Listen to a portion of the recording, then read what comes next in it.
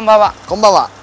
えー、今日はアウディの A7 はい。ですね A7 ですか？7 A7 はい。はいこれ僕欲しかったんですけど、はい山本さんに却下されました。うん飽きるからダメ いや違うんですよ。これ本当にあの今の7を買うときに A7 が欲しいって言ったことあるじゃないですか。うんそしたらあダメ無理。以上。いやあの BM からアウディってなかなか乗り換える人がいなくて。そうなんですか？でそのもともとアウディとかワーゲンとかベンツを乗ってる人だったらこの足回りに多分納得ができるんだよあそそこですか？そこです。いや僕あのこの見た感じのこの格好がわかっこいいと思ったんですよ単純に。あ見た目かっこいいですよ。見た目かっこいいんですよ、はい。そっから来ちゃったんですよ。で乗ったことはないです別に。これ自体を BM からはちょなんっとちょっと違うかじゃあ。なそのなんて言うんだろうな。足回りがちょっと滑らかになるんですよ。あ違うんですか？BM と比べるとね。へー。なんかあのアウディのイメージってベンツと BM の中間みたいな感じだと思うんですよ。これに限らずあの A8 とかもそうじゃないですか？なんかそうですベンツとなんか違うし BM とも違うしっていう、えー固めなんだけどちょっと滑らかな感じになるから。だから多分 BM 乗りには合わない気がえします。本当ですか？うんいやもうこのなんか斬新なデザインですねかっこいいのが、うんデザインは本当にねこれすごいと思う。ベンツだったらあの CLS うんうん、うん、になるじゃないですか、そよりこっちのがちょっと角張っててかっこいいんですよ。はい。ベンツちょっと丸みがあるじゃないですか。ちょっとデザインラインラインがちょっと違うんだよね。そうなんですよね。でも一応そんなに言うほど屋根低くないんですよ。はい。低く見えるんだけど低くないっていうなんだろう低重心になってるんですかね多分。低重心でさらにこれ下げてるから余計かもしれない。余計ですかね。座るとなんだろう思ってるより低いっていうか位そうです、ね、置が。だからなんか座った時に結構フィッティングいいっていうかしっくりくるんですよ。はい。がいいなと思っててちょっとこちらの車を紹介してもらっていいですか？はい。はい。まあアウディ A7、はい。で、まあ、3リッタ3リッターー。ですねで3リッターもあるんですか？3リッターです。はい。すげえですね。え3リッターもっていうかちょっと待ってこれえ？A7 だから長さ5メーター近く。え4そんなあるんですか？これ。499あるんですよ。499ですか？はい。長ないですか？めっちゃ。長いです長いです。7だよ。めっちゃ長いですか？え幅どんくらいですか？幅が191 1910はい。えそんなにあるんですか？見えないんですけど。え？いやあるんですあるんですえだって7シリーズが1900ですよ。はい。それよりでかいんですかちょっと。ちょっとだけでかい。え？ちょっとでまあ1センチだけどいやね1センチって結構でかいですよ車の1センチは。見えなくないですか？見えないですよ、ね、ボンネットが短いからかな。いやな流れてるからかな。流れてるからここのグリルまでの長さで見たら結構長いと思うよ。そういう感じですか？なんか見た感じは BM の方がでかく見えません？でかく見えるけどだけどここのガラスだってそんな立ってるわけじゃなくて斜めになってるからここも長いんですよ。だってガラスでこんだけあるんですよ。まあ言っちゃえば BM もちょっと起きてますねこうやって。この3シリーズとか見ると。起きててでボンネットがその分長いかもしれないけどでも長いんですこれ。こ れで結構でかい。ですね。でかいんですこれ。と6ほどはないなと思ったんですよぶっちゃけ。え7だよ7いや7なんですけどなんか6の方がでかく見えるというかあんと視覚的になんかパッと見た感じ。な BM の数字とアウディの数字ってちょっと違うんですよ。はいはいはい。えー、と例えば A3 っていうと、はいはい。じゃあ3シリーズと比べるとどうなんだっていうと3シリーズの方が明らかにでかいんですよ。確かに確かに、で、A4 でどうなんだってなると3シリーズよりちょっとでかいんでですよ。かいですね。だからその合間合間にちょいちょいちょいちょい入ってきてるような感じでですね。サイズがだけど7になってくるとまたちょっと違って、まあ、5よりはもちろんでかい。だけど、まあ、7と比べると結構いいいいサイズぐらいになってる。でもこれ実際今カメラだから分かんないんですけどこはい。うパッとこう歩いてきてこう見たら6よりちっちゃく見えますよやっぱり。いや確かにちっちゃく見えるんですよねこれ。多分な流線形っていうんですかうこういう流れるライン。ん、だからそう見えるんだけど余計ですかね。実はそんなでかかったんですか？長い。BM ってグリルもこう立ってるしこうぐわっとこう盛り上がった感じやから多はい、分でかく見えるんですよ。そういうことなんですかね。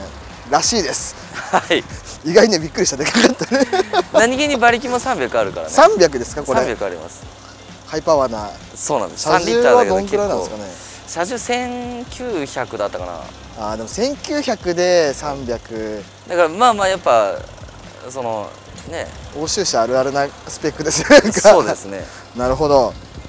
いやこれもう何がかっ好きかってこの方このシングルヘルムになってからがかっこいいなと思うんですよ。ああはい。前のアウディはそんなに好きじゃないんですよ。あの細いタイプのグリルは、はいはいはい。ただこっちのこのこうシングルヘルムですか？このぐるってこう大きくなったはい。タイプになってからはかっこいいなそうですね。と思うんです、あとここに LED がこうはいが入ってからですよね。そうなんですよ。このぐらいからうわすげえアウディかっこよくなったと思って、それまでアウディってなんかすごいちょっと冴えない感じがしたんだけど、うん、なんかあのベンツ BM じゃなくてなんかちょっと安いアウディを買ったみたいなイメージがあったんですよ。だけど本当にこれぐらいの年代からガラッとアウディのイメージが変わって。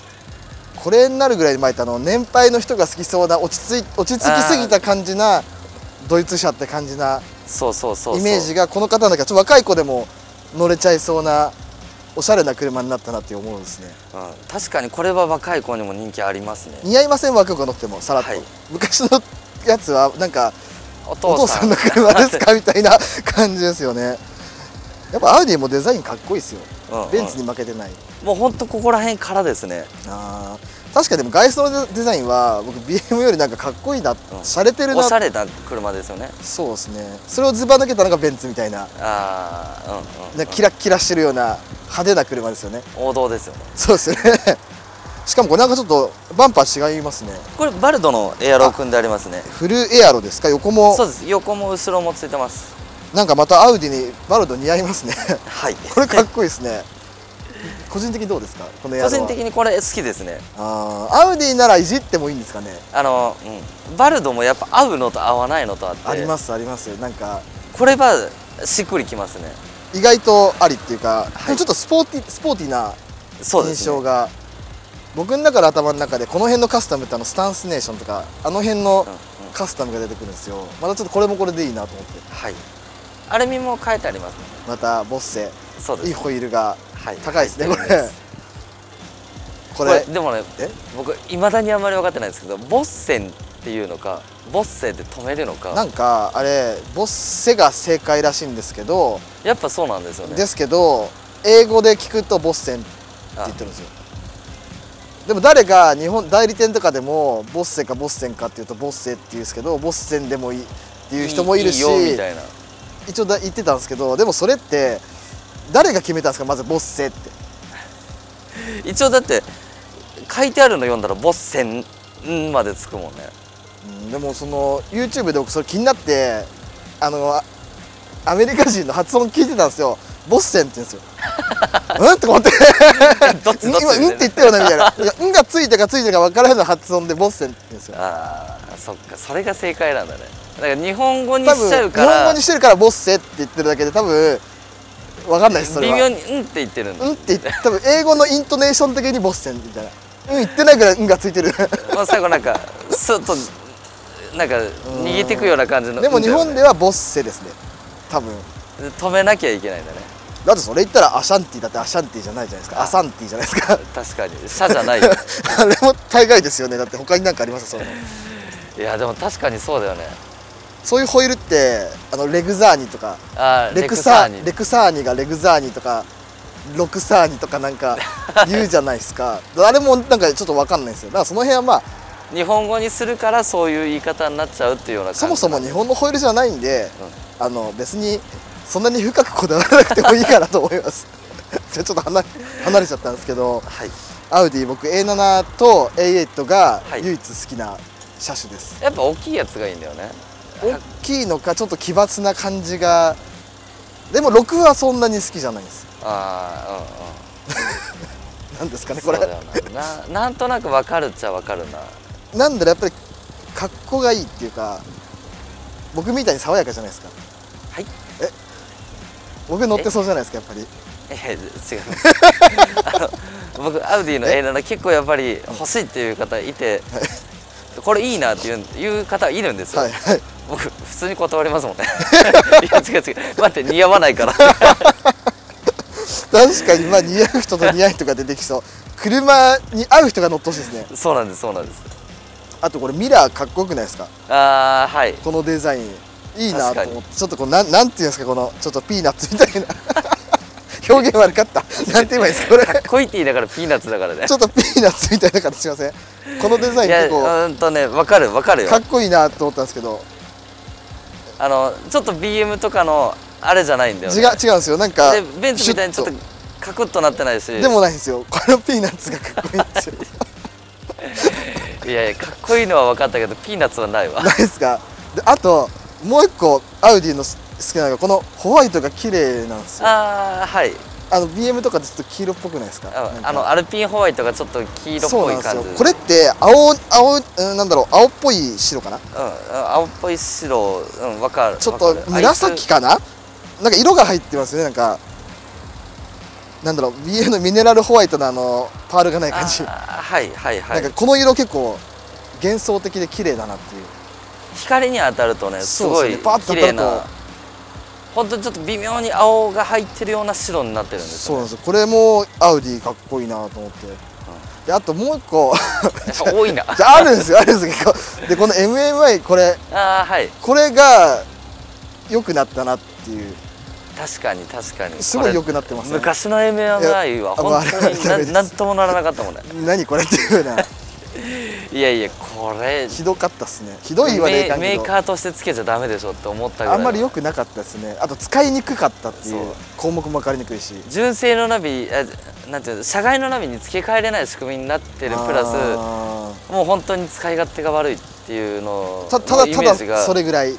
それが本当に良くなったんだけど。そうですね。あと画面も綺麗になったじゃないですか。はい。であと音もいいしそうですね。坊主ついてこれこれはね A7 はね。A7 で SD も入るしはい。なんかもう至せり尽くせりな車だなと思ってはい装備が好きなんではいあと何かありますかにあとはですねあのできればやっぱりこのアウディはおしゃれな方に乗ってほしいまるで僕のこと言ってるみたいですねいやいやいやだから僕止めたんです何ですかいやでも本当に欲しかったんですよこれうん、いやいやわかりますよこれもうこれほんと見た当時すっげえいい車だと思います。すごいなんか後ろもそうですけどインパクトがすごいんですよなんか、はい、どこ見てもなんかなんだろう。んうん。うこう目に残るっていうのかなこの形が。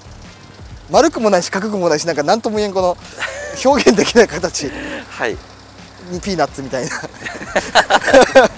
それ本当にいい車なんだ いやでも僕がなんかいいなと思う車ってなんか大体奇抜なんで。うんうん。確かに普通の車あんま欲しがらないんで。少かな。はい。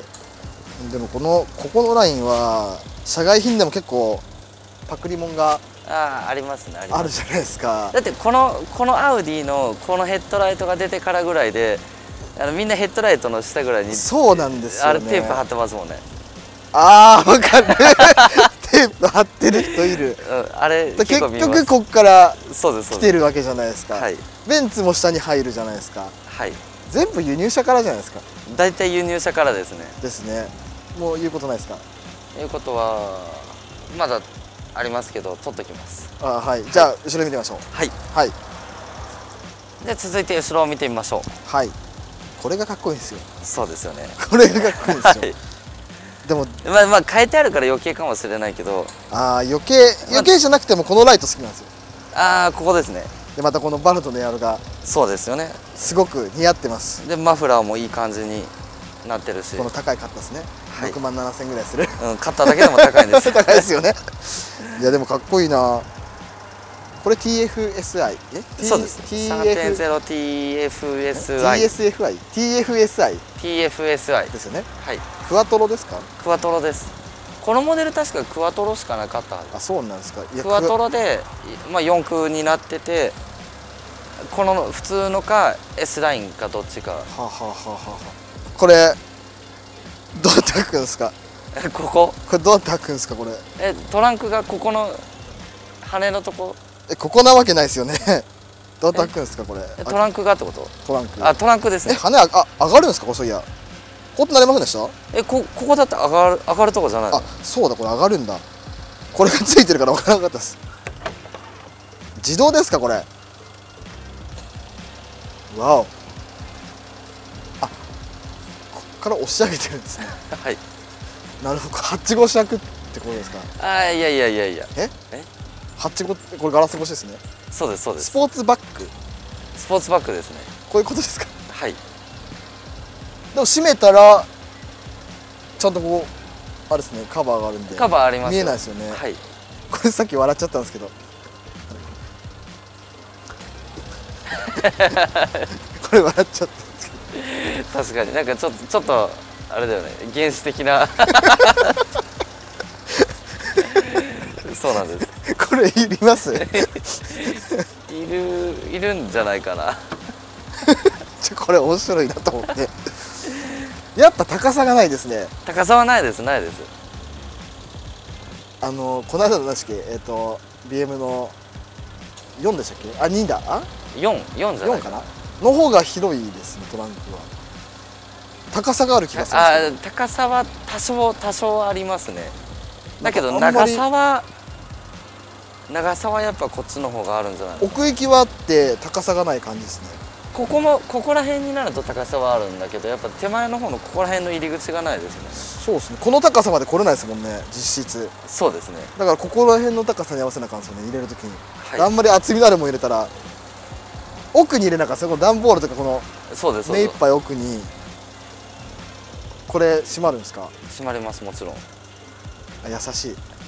ベンツだけですね。ガチャンガチャンってやるのは。このぐらいで閉まってやった方が。はいいい車だこれは。安心ですね。あーやっぱラインがもうずっと一定で流れてますね。シューッと。はい。かっこいいな欲しいな でもなんかやっぱり今の今7からやっぱ乗り換えると思うとなんか違うのかなっていう。うんうんうん確かに。感じは確かにしなくもないです。あでも確かにこういうところのバンパーとかも微妙になんかあれだね。その長さを稼いでる原因なのかな。形状がですか？形状が、これいじったらかっこいいな。うん。なるほど。これ走りが気になりますね。そうですね。一応300馬力あるんでどんな走りしてくれるかアとウディって速いですよねなんか。速いです速いです。何ですかね。あの出だしが速い。あししかもこれスーパーチャージャーじゃなかったえかな。これですか？確か。なるほど。うん。あとあの視覚的にアウディのメーターをよーく見るとなんかあの昔からですけどなんだろう最初のあれだけ荒いですよねこの刻みあが。あのメーターの。最初だけ、うん。で後から細かくなるんで最初グワンってこう視覚的に速く見えるっていうかあとタコもこう大きく振るじゃないですか。はい。だからエンジンすごくぶん回ってるような多分だから見てこう演出してる面もあるのかなと思ったんですけど。やられてますねやられてますね。だいぶこれ やられますね。騙されてますね。騙されてますね。はい。じゃあ、はい。じゃあ次回はい。乗ってみましょうか。気になります。はい。わかりました。はいじゃあ次回もまたお願いします。お願いします、はい、ではさようなら。さようなら。